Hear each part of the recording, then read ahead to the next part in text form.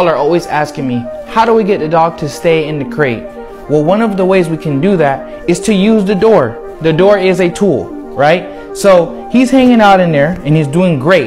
Matter of fact, deserves a treat. I Good, like treats. right?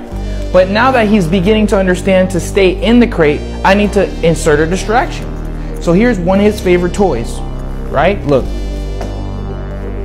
We have a ball. Not going to work. I'm a very good boy. I open the crate door a bit more. He stays? Good.